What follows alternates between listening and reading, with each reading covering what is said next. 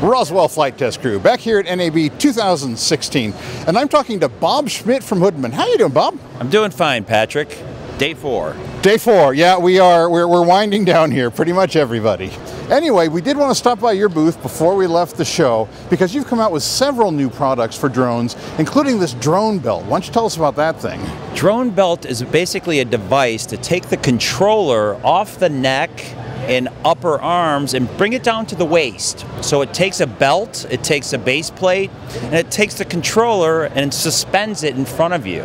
So basically everything is almost hands free until you want to place your hands on the controller. So it really eliminates fatigue and it keeps it right there and then you can quickly release it and move on your way and go on to some other things. So very interesting. Now I noticed you've yeah. got a DJI controller on there, but I take it you make base plates for Futaba and all the other major brands. Absolutely. What we've done is we've taken every major brand and most of them are specifically for that brand. So it's just a matter of a model number, associating it with your appropriate controller and we have one for it. And then secondly, with a name like Hoodman, it's obvious you guys make hoods for video gear, and now you're starting to make them for use in drone applications. Exactly. As you know, 30 years ago, we started making hoods for broadcast monitors, and then it evolved into drones. It was just a natural extension of our line of products. Very simple but very necessary. And uh, what if you need to interact with it? Like, let's say you're using an iPad mini, is there a way you can touch the screen? Absolutely. What we've done is put a split in the first stage of the hood. So you can actually interact with the screen by a pierceable panel. So there's complete capabilities within and keeping the hood on.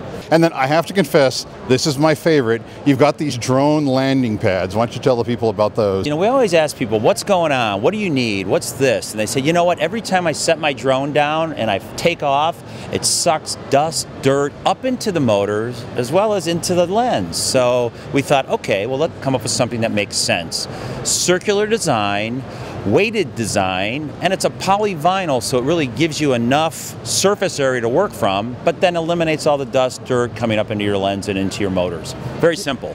You're bringing a lot of gear out into the field. We wanted to minimize it. It's similar to the old Flexfill light box where you can just turn it and it goes into three cir small circles and goes down into about a 24 inch carrying case. And it's about eight pounds pretty yeah, manageable. Yeah. yeah. At the same time, it is important to point out it's weighted around the rim. It's not going to blow away like a reflector would. It's nice and sturdy. I, I, realized that when I was holding it. People have staked, put stakes in the ground with these, and we thought, you know what? Let's put something a little smarter in here. Let's get some galvanized rope and with basically galvanizing something, you're taking all the magnetic capabilities out of it. So you won't have to worry about any GPS issues with your compass.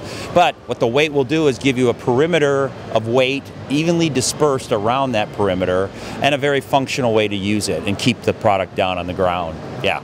Well, this is some good looking stuff, and I appreciate you taking the time to tell us about it. Patrick, thank you very much. It was nice meeting you. Absolutely. And from NAB 2016, this is the Roswell Flight Test Crews signing off.